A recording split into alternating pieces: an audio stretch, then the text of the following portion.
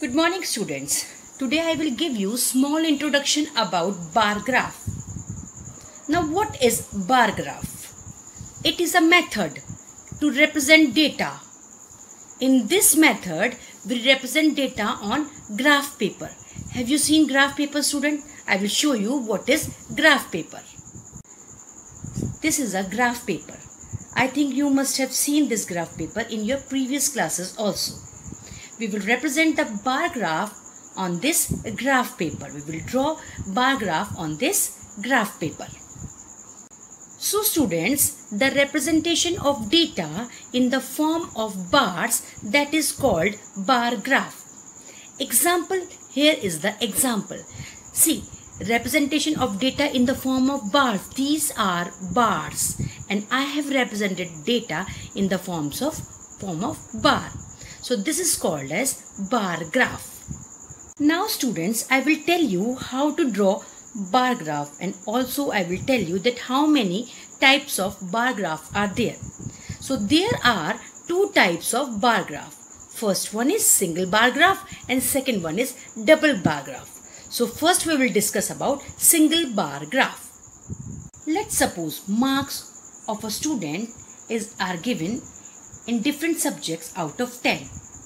Example, in English he got 7 marks, in Hindi he got 8 marks, in maths he got 5 marks and in science he got 6 marks. Now I will tell you how you can represent these marks in the form of a bar graph. In the given data we have two things that is subject and marks. Now we will represent these subject and marks in a bar graph.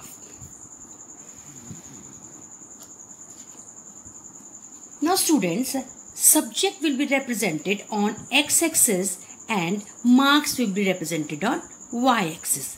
See, English, Hindi, Maths and Science, they are represented on x-axis and marks that is 0, 1, 2, 3, 4 and so on is represented on y-axis.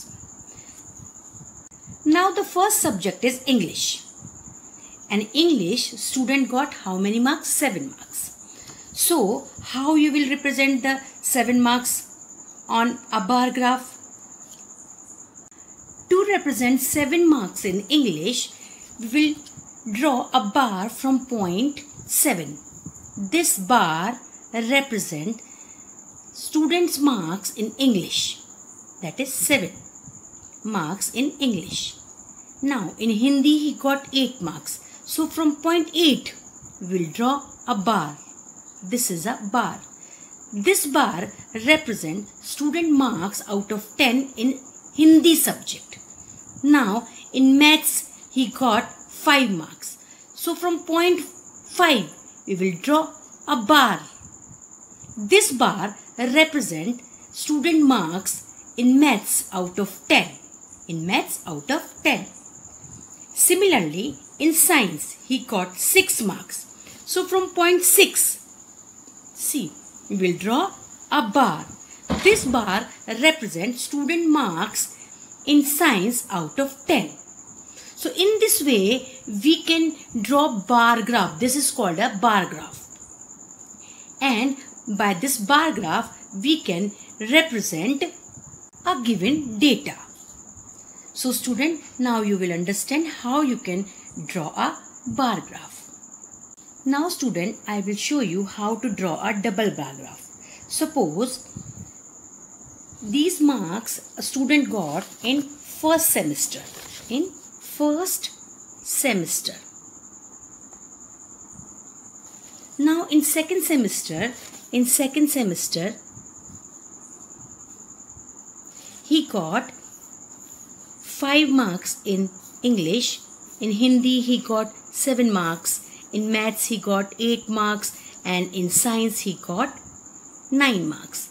Then how will you draw a double bar graph? I will show you.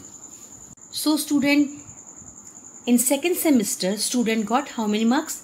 5 marks. So from point A, here in English subject. So from point A, you will draw another bar. This bar will show you second sem marks. Now in Hindi he got 7 marks. So 7 here. In Hindi he got 7 marks. So 7 marks. Like this. Now in maths he got 8 marks. So 8 marks. See. 8 marks.